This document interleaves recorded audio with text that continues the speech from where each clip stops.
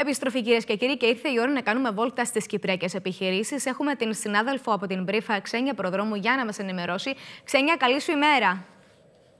Καλημέρα Κωνσταντίνα, κυρίες και κύριοι. Η πρώτη μας είδηση αφορά το πρόγραμμα Scale Up, το οποίο παρουσίασε πρόσφατα η PwC της Κύπρου, με στόχο να προωθήσει την επιχειρηματική ανάπτυξη των νεοφιών επιχειρήσεων. Ε, στο πρόγραμμα Κωνσταντίνα θα επιλεγούν να συμμετάσχουν πέντε νεοφυείς καινοτόμες επιχειρήσεις ε, σε ένα πρόγραμμα διάρκειας 10 εβδομάδων με στόχο την ενδυνάμωση των δραστηριοτήτων τους ε, και θα έρθουν και σε επαφή έτσι, με υπεύθυνους λήψης αποφάσεων, δυνητικούς πελάτες και συνεργάτες στο σχετικό, ε, στη σχετική ανακοίνωση ε, μπορεί κάποιος να δει στην brief το mm δικαίωμα συμμετοχής ε, καθώς και τα κριτήρια τα οποία πρέπει να πληρούν οι ενδιαφερόμενοι που θέλουν να συμμετάσχουν.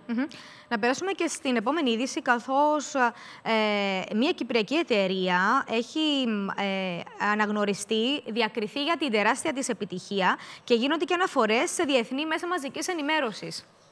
Ακριβώς. Πρόκειται για την Κυπριακή εταιρεία Νάγκα, η οποία είναι πάροχος του κοινωνικού δικτύου για τις συναλλαγές χρηματοπιστωτικής αγοράς Naga.com, ε, η οποία ανακοίνωσε τη μεγαλύτερη χρηματοδοτική συμφωνία στην ιστορία της εταιρείας ε, μέχρι και σήμερα και περαιτέρω ρεκόρ ανάπτυξης για το Φεβρουάριο του 2021.